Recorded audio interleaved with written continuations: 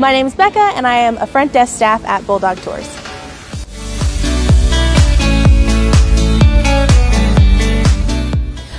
I got my job at Bulldog because a sorority sister used to work at the company and posted that there was that open position about five years ago, and then I applied for the job and I've been working there ever since.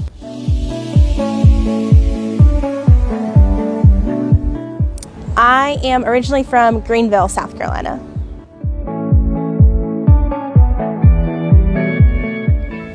I chose the College of Charleston because of the hospitality and tourism program here, as well as loving the college and being in a smaller liberal arts school along the coast.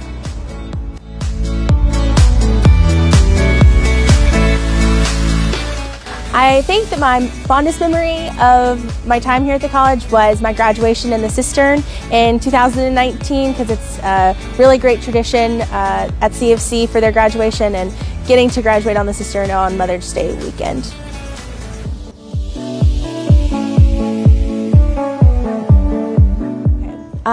Some of the reasons that I loved going to the college and why I think it's a great place to go to school. There's so much history here in Charleston, but also just at the college itself. It is the oldest municipal college in the United States, and it's the 13th oldest college in the United States overall. And there's just so much to be learned here, and the class sizes are small, but also just being surrounded by such a beautiful campus makes it a great experience.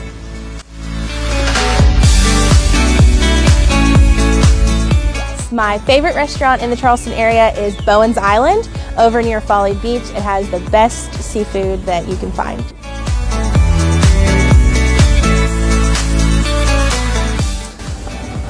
I think a great night out in Charleston for me involves dinner downtown somewhere maybe on King Street like the Darling Oyster or Halls if you want to feel fancy and then um, making the way on the weekends to the night market where there's a lot of local artists uh, selling their, you know, crafts or jewelry. So it's probably a typical weekend night for me in Charleston.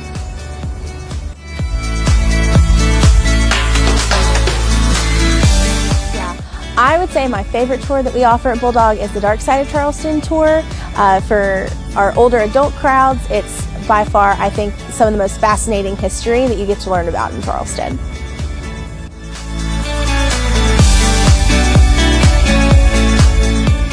I would say that my most memorable guest interaction had to do when we had a mother and a son uh, coming down to Charleston to visit. They were really big fans of our Facebook videos and I had interacted with them and they had wanted to come down and talk with Andrew about our tours and I was able to get them connected and when they got here we actually learned that we lived about 10 minutes from each other in a small town in Greenville uh, my entire life so it was a nice way to connect with some friends up in the upstate but also get to show them our business and how we interact at Bulldog.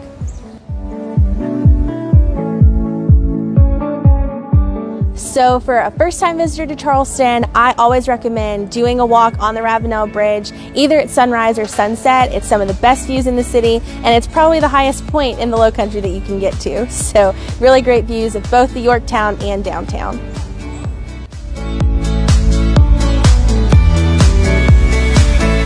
So for me, Charleston has really become home. I moved here for college and I've never left. I now am permanently living here in Charleston and it's the kind of place that I want everyone in my family to move to because I love being here so much. And it's definitely become for me uh, what was home when I was younger is now what I feel here in Charleston.